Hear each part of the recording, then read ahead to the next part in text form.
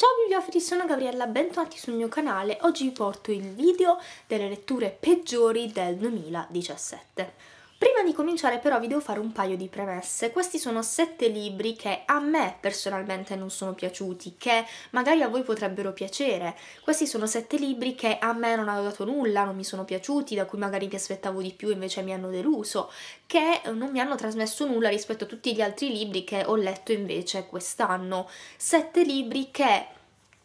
non mi hanno dato nulla, ma che potrebbero dare qualcosa a voi. Queste sono le mie opinioni. Sono sette libri di cui probabilmente vi ho già parlato, di alcuni meglio, di alcuni peggio, comunque in maniera più approfondita, comunque non rientrano nei miei gusti personali, ma che magari a voi potrebbero piacere o potrebbero già essere piaciuti, potrebbero essere dei vostri libri preferiti, quindi in primis non sentitevi offesi dal fatto che io magari metta questi libri nei peggiori del 2017 e comunque magari se siete incuriositi da questi libri, leggeteli, fatevi una vostra opinione. Questa è solo la mia opinione. Io prima di essere una booktuber sono lettrice come voi, ho dei gusti personali, dei pareri personali che saranno questi, ma voi dovete farvi la vostra opinione. Questa è una prima opinione che vi potete fare su questo determinato libro, su questi libri di cui parlerò ma dovete, se volete, leggerli per farvi un'opinione piena e vedere se magari ho ragione o torto, secondo voi, secondo il vostro gusto personale. Altra premessa è che di questi sette libri io ne posseggo solo quattro perché gli altri o li ho prestati o me ne sono sbarazzata in quanto non, uh, non facevano parte appunto del catalogo di libri che volevo mantenere nella mia libreria in quanto già lo spazio è poco e ho preferito darli via. Quindi vi metterò nel caso la cover qui accanto a me. Di questi sette appunto quattro ce li ho qui con me, gli altri sono andati via. Inizierò da quello che mi ha deluso di meno a quello che poi mi ha deluso di più, quindi dal libro meno peggiore al più peggiore. Il libro meno peggiore è decisamente The Glittering Court di Richelle Mead, un libro che ho letto quest'anno, che non ho più qui con me e che purtroppo mi ha un po' deluso perché in questo caso appunto mi aspettavo che fosse un fantasy quanto spesso veniva presentato così, ma in realtà non lo è, è semplicemente una storia ambientata in un mondo nuovo, diverso, inventato, ma di fantasy non c'è nient'altro. Mi ha deluso proprio per questo aspetto perché la storia è sì carina, ma neanche tanto originale e non mi ha catturato più di tanto. Mi aspettavo molto molto di più da questo libro e invece non mi ha dato quasi nulla. Ecco il motivo per il quale me ne sono sbarazzata. Purtroppo è accaduto e quindi non credo che continuerò la trilogia e speravo mi piacesse davvero, in realtà non è accaduto. Il sesto libro, insomma, quello che mi ha deluso dopo The Glittering Court in maniera un po' più peggiore, appunto, è stato E poi ci sono io di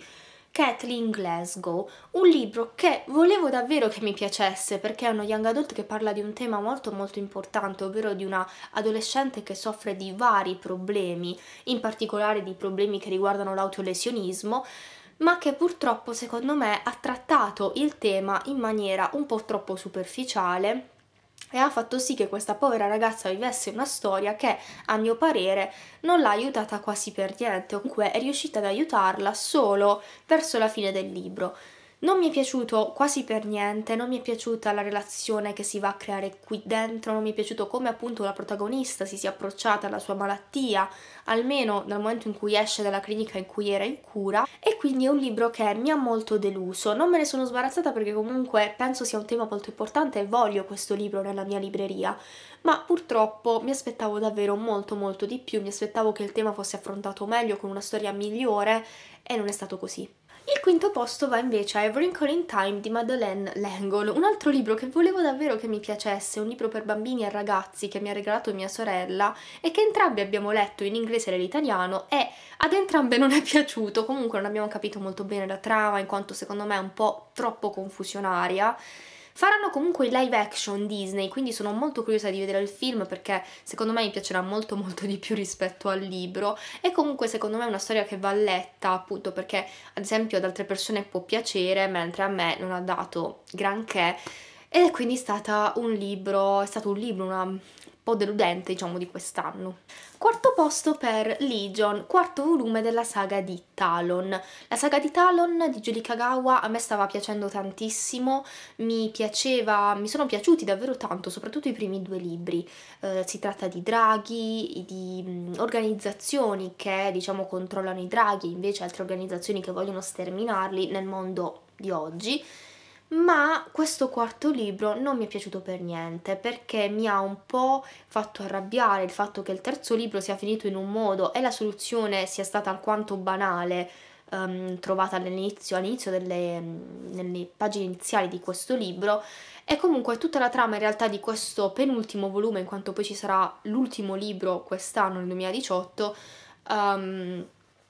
non, non, non, mi ha dato niente la trama, diciamo, rispetto ai primi tre volumi, in particolare rispetto ai primi due. Mi ha deluso molto, spero che comunque il quinto e ultimo libro appunto sia migliore, che la trama si riprenda e che accada quello che voglio io, perché davvero non mi ha fatto impazzire, anche il triangolo amoroso qui mi ha dato molto fastidio, mentre inizialmente non mi stava dando fastidio,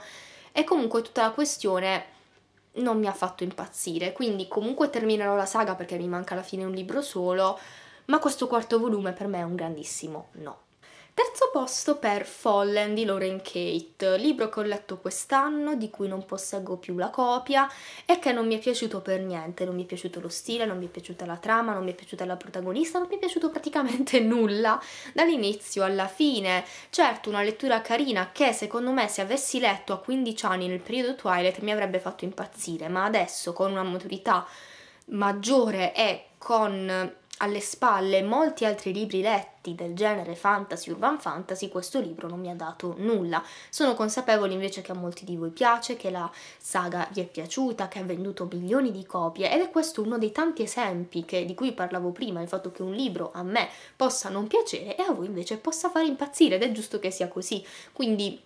per me Fallen è stato una delusione, ma per molti molti altri è stato un bel libro, quindi perché non dargli comunque una possibilità? Secondo um, libro, diciamo, secondo posto per i libri più deludenti o peggiori del 2017 è per Believeland, un libro di un'attrice italiana emergente di cui vi ho parlato nel wrap up di gennaio del 2017 se non ricordo male, che purtroppo non mi è piaciuto quasi per niente. Io ne parlai con l'autrice, lei è stata molto matura e molto gentile nel dirmi che avevo tutto il diritto di farle delle critiche costruttive, sempre con educazione e rispettandola, dicendole che quello che pensavo era appunto che lei secondo me doveva semplicemente migliorare il suo stile, comunque l'autrice è molto giovane e secondo me ha il potenziale per scrivere molto molto meglio rispetto a quel libro, che a me appunto non ha dato nulla non mi piacque, tant'è che non vi feci neanche la recensione a parte, ma ne parlai appunto nel wrap up brevemente, affermando appunto le stesse cose, cioè che secondo me può semplicemente fare di meglio, può scrivere di meglio perché la base c'è.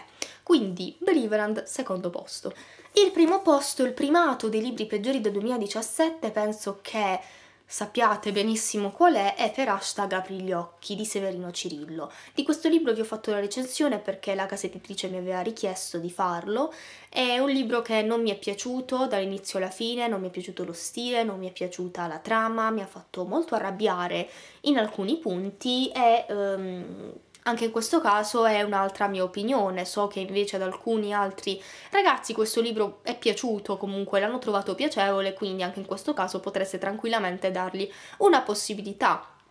Io credo che sia un brutto libro, ma voi potete magari leggerlo e pensare che è il libro della vostra vita. Nulla in contrario o nulla contro appunto questa opinione, insomma, semplicemente per me è stato il libro più brutto che ho letto nel 2017 ma ripeto, è solo la mia opinione, quindi magari qualcun altro può trovarlo invece un libro bello. Bene, questi i miei libri peggiori del 2017 o comunque libri deludenti del 2017 che non mi hanno dato nulla, che mi hanno deluso perché magari mi aspettavo un po' di più. Fatemi sapere se invece voi avete delle letture che vi hanno deluso nel 2017, se avete letto questi libri e magari vi sono piaciuti o se siete d'accordo con me. Insomma, fatemi sapere qual è stato il peggio che avete letto in questo anno appena terminato. Io spero che il video vi sia piaciuto, vi lascerò comunque il link per acquistare tutti i libri che ho citato qui sotto nell'info box insieme ai miei social e noi ci vediamo al prossimo video. Ciao!